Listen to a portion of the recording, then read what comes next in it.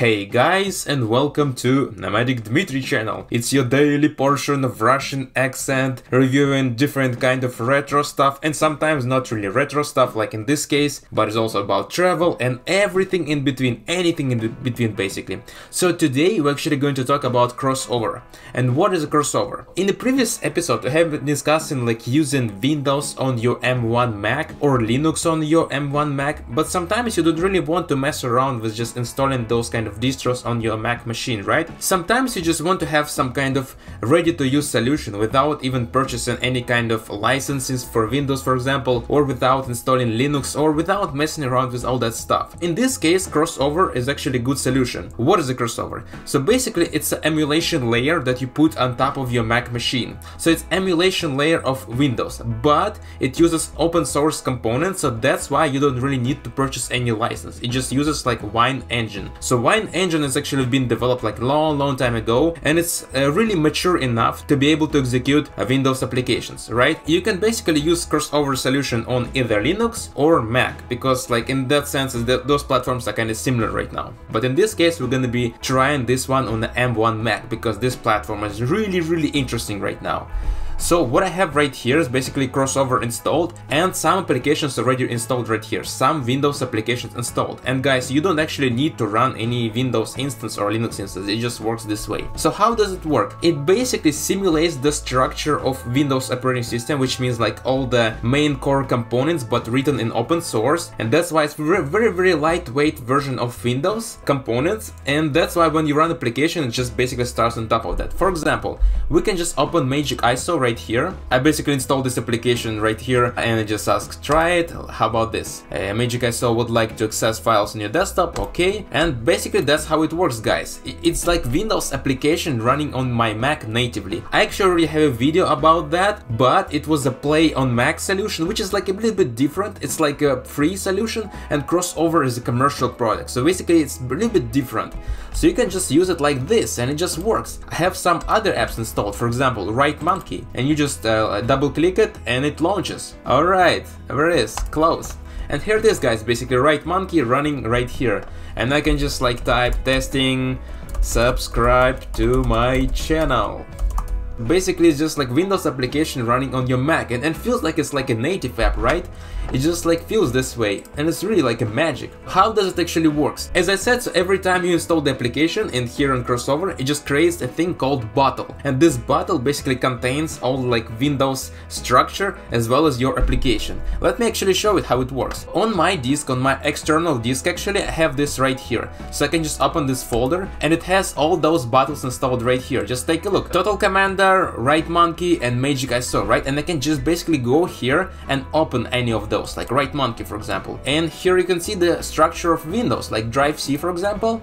Windows, users and all that. And basically it even has like Notepad, but it's just basically not Windows Notepad, it's like open source kind of simulation of Notepad. So it's really really exciting. If you're curious how, like how much space it actually takes, let's take a look for example at Magic ISO. And it takes like 100 megs, which is not that bad actually, it's just totally fine. But yeah, like every app you install just like simulates Windows structure, which is pretty exciting. Let's actually discuss how to set this all up. Because by default, all those bottles, which means applications, are installed on your hard drive sometimes like on M1 Mac there's not enough space. So that's why I just reconfigured this one to be able to use my external hard drive. For this purpose, like how do I do it? You just need to modify the configuration file, that's it. How to find configuration file? Well, there's easy way, just like look, take a look at documentation, right? But I'm not like the person like that. So in this case, I'm just using the app called App Cleaner. So this application, App Cleaner, the main purpose of it is basically to remove applications that you don't really like. So you can just drop it down like that, for example, crossover, and it's gonna show you all the path this application uses. For example, it's installed in applications, crossover, library application support, and library logs and all that, blah blah blah. So you basically press remove and you remove it completely. But the secondary use of this application is basically to browse where application stores the files and including the configuration files. In this case, I think it's stored right here, library application support crossover. So you just press this button, you go to crossover, and then we need this file, crossover configuration. So now I'm using the Atom text editor to basically edit this one, but you can use anything you want, like text edit is totally fine as well. So I just modified one, one line. I just basically added the path to my external hard drive. And you can just like go around and explore all other cases like here. For example uh, you can just like set preferred browser which is basically on your crossover in instance. It can, it it, can actually point to specific browser that, that you like. So basically really, really really easy. Bottle defaults section. So this is the section that we actually need.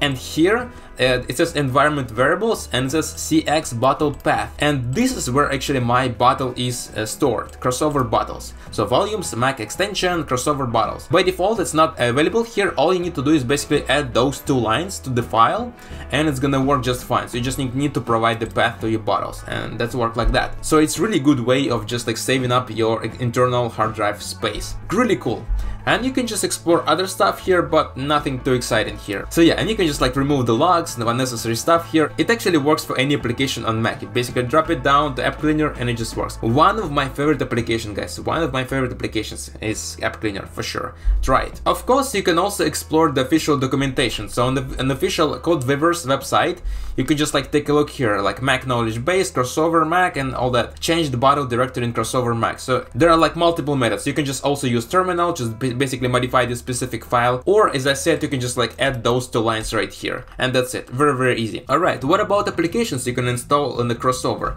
Actually there's like knowledge base of all apps available and basically users report applications that work and they report applications that don't work.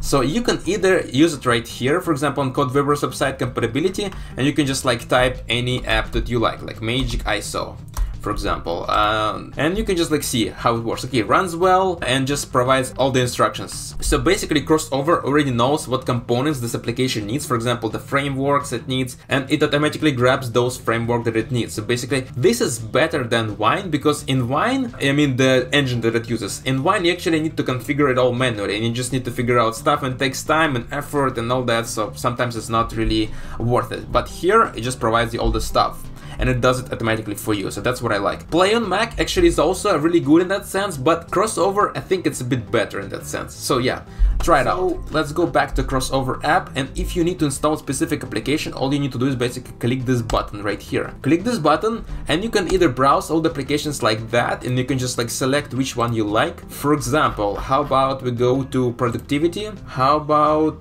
Office Suites? Yeah, for example LibreOffice, and it provides you all the info. For example, in this case it says untested. Once you press continue, it's actually gonna ask you for the path of this uh, specific binary, so installation binary. But in some cases it actually downloads it for you. For example, in the case of Magic ISO that I installed, it says runs well, and you just click continue and it's actually gonna grab the binary from the server and install it for you and install all the components, which is really cool. But in this case, the most interesting app probably people gonna install first in crossover is probably gonna be Steam. And everybody knows what Steam is all about, right? It's basically running your favorite games on Mac.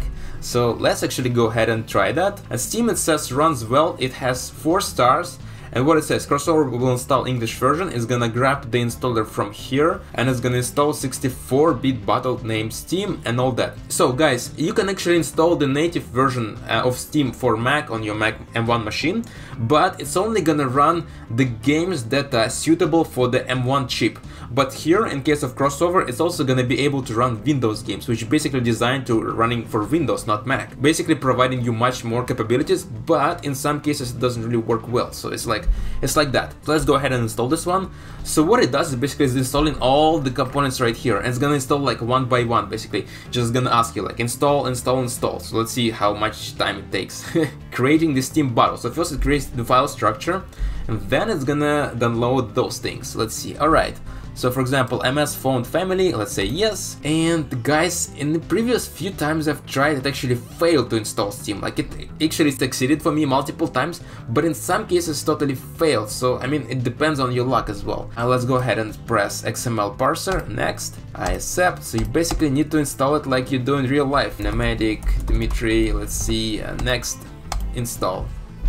Alright, so let's see, and installing Steam, finally, okay, so finally it's installing Steam part, English, And of course, this is just the virtual folder, it's not your actual physical folder on Mac. So I have 300 gigs of space on my external drive, which is cool. Install, and then basically like this. Press finish here. Refreshing the menus. Uh, well, I think in this case it was actually fine, so it's actually running just fine. Alright guys, seems to be it actually installed, it's actually working fine on my Mac. So basically downloading all the components and it's working well. So it's actually downloading the Steam and I think it's gonna work fine with many games. So I've tried with a few games it worked well, sometimes it crashes, some some kind of weird scenarios happen so you just need to see workarounds on forums and stuff like that, but most of the cases it's working fine. Crossover is really cool, I mean even the interface is really nice. You can just like for example select at least like this or any kind of options that you prefer. I also like this option, it says run command, for example if you double click it you can select the bottle which you want to use as a base. And for example, let's select Magic ISO and we're gonna just type Notepad and it actually opens the crossover like a wine version of notepad. If you click here about notepad it's running on wine and the version number. So basically this is how it works guys. I mean it's totally totally cool. And steam seems like it's almost downloaded let's see let's see let's see. Here it is guys. Steam working on your mac. You can just log in and you can see your steam library. It works well. And if you're really interested we can actually explore and run a few games on steam. But i think that's not really the point of this video. Let's actually leave it for other video. All right guys. Thank you for watching this video as you can see, you can totally run your Steam or any other Windows applications on your M1 Mac and it's gonna work just fine. And the crossover has been there for more than a decade. Basically, this is really well supported product. There are still some applications that do not work. As I said, this is a commercial product. If you don't really want to pay, you can just like first try it for a few days. I think it's like two weeks. Or you can try Play on Mac, but I'm not really sure how Play on Mac actually works on M1 Mac. I've tried it briefly and it was not working well for me. Maybe I'm just missing some point, but crossover it actually was tested to work on M1 Mac. Alright guys, please subscribe, press the like button and see you soon. Alright, bye!